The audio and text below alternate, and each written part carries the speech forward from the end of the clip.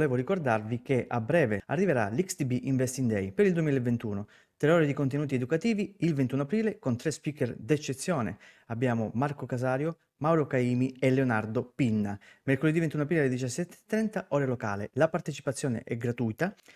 Ricordo che il link per registrarsi gratuitamente a questo evento lo trovate qui sotto in descrizione del video. Bene, non vi rubo altro tempo, ritorniamo al video. Ciao a tutti ragazzi e bentornati sul canale, io sono Pasquale e questo è Io Risparmio e bentornati in un nuovo video. Oggi andiamo un attimino a approfondire un'altra categoria di prodotti. Eh, come sapete a me piacciono tantissimo eh, i dividendi, piacciono molto i REITs, ma non è l'unica categoria di prodotti che può essere utilizzata per investire in dividendi. Ne esiste un'altra, i BDC, Business Development Company. Oggi andiamo a vedere una piccola idea di cosa sono i BDC, come funzionano, quali sono i rischi e quali sono i pregi e soprattutto vi do 5 eh, titoli che io ho in watchlist, anzi uno ce l'ho già in portafoglio e questi titoli molto probabilmente li andrò ad aggiungere in futuro nel mio portafoglio e per cui volevo un attimino andarvi a fare vedere questi 5 titoli e scambiare delle opinioni insieme a voi. Ovviamente vi ricordo che questi non sono consigli finanziari, ma sono solo le opinioni di un semplice ragazzo che porta avanti la propria strategia di investimento e vuole condividere delle opinioni assieme a voi. Prima di cominciare ovviamente è obbligo ricordare che mi potete trovare ogni martedì e ogni venerdì su questo canale con un video nuovo, ogni giovedì con una live poi ogni lunedì con un nuovo articolo sul mio blog www.risparmioinvesto.com e anche su Instagram io underscore risparmio. Partiamo subito con questa carrellata, ma dopo la sigla.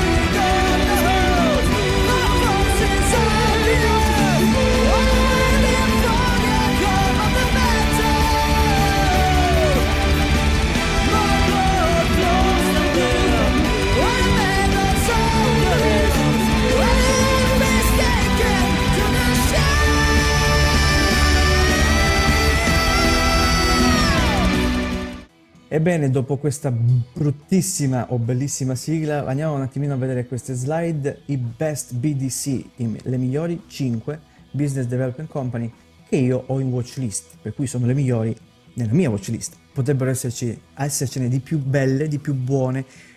Queste sono le mie opinioni. Prima di tutto andiamo a vedere un attimino cos'è un BDC. La Business Development Companies in generale sono delle società di investimento chiuse, CLF, Closed End Funds.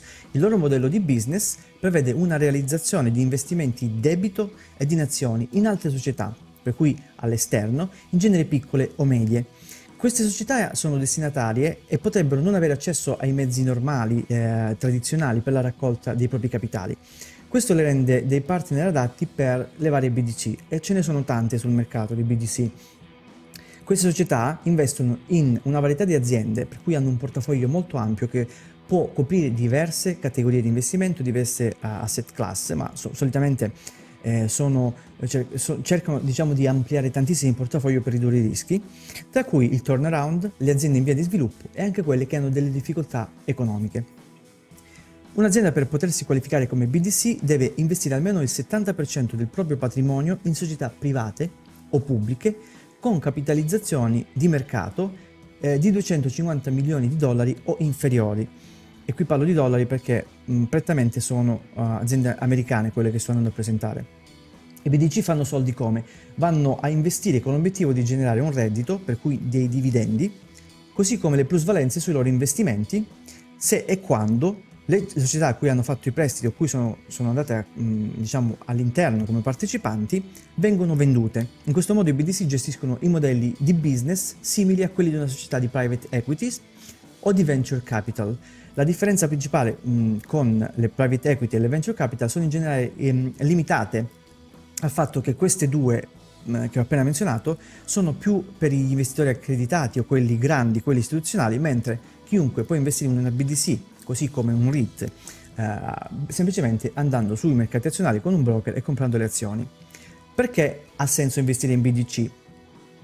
Eh, l'ovvio appeal dei BDC sono gli arrivati rendimenti da dividendi. Non è raro trovare che i BDC ah, abbiano dei rendimenti da dividendi superiori al 5%, in alcuni casi forniscono anche un rendimento superiore al 10% e tra l'altro non l'ho menzionato nelle slide, ma la maggior parte dei BDC, quasi tutti, eh, danno rendimenti mensili per cui i dividendi vengono uh, erogati con cadenza mensile. Ovviamente gli investitori dovrebbero condurre una quantità approfondita di due diligence per assicurarsi che i fondamentali sottostanti supportino il dividendo. Se c'è un payout ratio del 5.000% e l'azienda è piena di debiti, insomma, bisogna studiarle bene. Ovvio dire perché però i BDC, prestando soldi, possono essere sempre più indebitati di quanto non abbiano asset. Questa è una cosa da tenere in considerazione. È più la forchetta eh, fra gli asset e il debito che bisogna andare a valutare e non se c'è più debito che asset. Poi in effetti ci sono molteplici fattori di rischio che gli investitori dovrebbero considerare eh, eh, prima di conoscere e investire in BDC. In primo luogo i BDC sono spesso fortemente indebitati, come ho detto poco fa. Questo risultato è comune ai BDC in quanto il loro modello di business prevede l'assunzione di prestiti per effettuare investimenti in altre società. Questo risultato finale è che BDC sono spesso società che utilizzano una leva finanziaria significativa, per cui quando uno va ad analizzare un BDC, se va a guardare che ha troppo debito, ha già perso in partenza perché non sono quelli i dati da andare a valutare. Avrà sicuramente molto spesso più debito che asset. Quali rischi sono correlati ai BDC? Uno dei rischi principali è che quando l'economia è in aumento, per cui c'è un mercato bullish, la leva finanziaria può aiutare ad amplificare i rendimenti positivi, per cui eh, uno va a investire, a prestare soldi a un'azienda che è in continua crescita, ovviamente il business continua a crescere, ci sono più aziende che nascono, aziende, più aziende che hanno bisogno di soldi e più BDC che erogano prestiti e ricevono appunto il pagamento degli interessi. Tuttavia il rovescio della medaglia in questo caso è che la leva finanziaria può accelerare le perdite in caso di mercati orso o peggio ancora nelle recessioni. Un altro rischio che va tenuto in considerazione e cui bisogna essere consapevoli sono i tassi di interesse perché il modello di business dei BDC utilizza pesantemente il debito e per questo gli investitori dovrebbero comprendere molto bene come funzionano i tassi di interesse prima di investire, altrimenti ci si brucia veramente il capitale. Infine, il rischio di credito è quello diciamo maggiore, cioè il corrispettivo per gli, supplementare per gli investitori. I BDC fanno investimenti in piccole e medie aziende, molte volte anche in aziende che sono eh, tenute che alla, per cui la proprietà è da una singola persona, del singolo imprenditore. Pertanto la qualità del portafoglio del BDC deve essere valutata per assicurarsi che questa azienda non sperimenti un elevato livello di inadempimenti, per cui di mancati pagamenti da parte di chi ha ricevuto i prestiti da parte del BDC e quindi questo possa portare dei risultati negativi al BDC e al collasso dell'azienda di per sé. In questo caso ovviamente si avrebbe una capacità uh, di mantenere le distribuzioni di dividendi agli azionisti negativa o, peggio ancora, si rischierebbe che il BDC dichiari bancarotta. Guardiamo 5 BDC che uh, mi piacciono tantissimo. La prima è Main Street Capital, ci ho dedicato un video apposito e ve lo lascio qui da qualche parte nella finestra. Il ticker è Main ed è quotata, ovviamente tutti questi sono quotati in America. Chi è Main Street Capital? Main Street Capital fornisce debito ed equity a lungo termine alle società a media e bassa capitalizzazione di un mercato di riferimento che è quello americano. Ma non è detto, può anche investire all'estero Main Street Capital. Questo definisce le società del mercato di medio-bassa uh, medio capitalizzazione come generalmente quelli che hanno ricavi fra i 10 milioni e i 150 milioni di dollari annuali. Ogni BDC si dà, diciamo, le sue forchette eh, cui a, in cui andare a investire. Gli investimenti delle società, delle società in genere supportano acquisizioni gestionali, di capitalizzazioni, finanziamenti per la crescita e rifinanziamenti e acquisizioni. E comunque, se avete voglia, andate a guardare il video che ho dedicato a Main Street, perché vado anche a spiegare tutta quella che è la diversificazione delle varie aziende in cui eh, Main Street Capital va a investire. Alla fine del 2020 Main Street Capital aveva un interesse di 70 società, per cui aveva prestato soldi o compartecipava a 70 società mh, del mercato appunto delle medio-bassa capitalizzazione, 42 società del mercato di media capitalizzazione e 63 investimenti in prestiti privati. Come dicevo all'inizio, davanti alla spiegazione, c'è anche chi è un imprenditore molto grande che non è appunto una società e ha bisogno di soldi eh, e può ricevere appunto un aiuto dalle BDC come in questo caso. La società ha una capitalizzazione di mercato di 2.4 miliardi di dollari e ha generato 138 milioni di dollari di entrate nette dall'investimento nello scorso anno, nel 2020. La seconda società si chiama Gladstone Investment Corporation e Gladstone è un grande gruppo che ha diverse aziende quotate in borsa, questa è una di quelle ed è il BDC, ma vi ricordo che ce ne sono altre, io ne ho due tra l'altro in portafoglio di questo gruppo, Gladstone Commercial che è un REIT normale, poi Gladstone Farmland che è un REIT che si occupa di possedere dei campi coltivati. In questo caso invece Gladstone Investment Corporation è un eh, BDC con un dividendo 6.94% e il ticker GAIN. GAIN. La gestione di Gladstone è, è, molto più piccola rispetto agli altri BDC eh, perché ha una capitalizzazione molto più bassa ed è, investi- ed è specializzato in investimenti nel mercato medio-basso. Ciò significa per questa azienda avere eh, investimenti in aziende che hanno meno di 100 milioni di capitalizzazione, ma a questo punto anche per quelle aziende che siano abbastanza grandi da non poter accedere facilmente al finanziamento come le aziende normali, con mezzi convenzionali, e sono aziende che come Gain eh, sono ottimi esempi per gli investitori in quanto si fanno avanti per riempire una nicchia a beneficio di tutte le parti, proprio perché vanno a indirizzarsi su una ben precisa tipologia di azienda come capitalizzazione. Queste società più piccole hanno bisogno di finanziamenti eh, per operare e crescere. I direzionisti di Gain, per cui di Glasson Investment Corporation, ottengono un dividendo succoso man mano che i pagamenti dei prestiti vengono effettuati. Anche la più ampia economia statunitense ne trae vantaggio perché le piccole imprese trovano capitale di cui hanno bisogno per diventare più grandi. Gladstone investe prevalentemente nel mercato USA e un dividendo del quasi 7% male non fa. Ovviamente, come dicevo prima, essendo un'azienda piccola, ha dei rischi più correlati perché ha una capitalizzazione molto più bassa. Il terzo BDC è Apollo Investment Group col ticker INV con un dividendo al momento della registrazione di questo video che è 10.02%. Apollo Investment è il ramo di una massiccia società di private equity che si chiama Apollo Global eh, che attualmente comanda oltre 430 miliardi di dollari di asset per cui di per sé la casa madre è enorme. In effetti AINV origina sempre parte del debito che aiuta a finanziare accordi e ristrutturazioni a cui è presa eh, diciamo, eh, per i suoi investimenti dalla sua controllante madre attraverso offerte di debito garantite e anche non garantite. Questo BDC che fa? Fornisce un ottimo rendimento al momento, il 10% non è da buttare e oltretutto come ho detto poco fa ha alle spalle una, ca- una casa madre gigante con 400 miliardi di dollari di asset e mentre è sempre rischioso fare affidamento su debito non garantito, cioè un prestito senza protezione in caso di fallimento, aiuta certamente a sapere che INV abbia un legame diretto con gli investor senior della casa madre che danno come potrebbe essere quasi considerata una fideiussione eh, a coprire diciamo, l'azienda e nei suoi movimenti.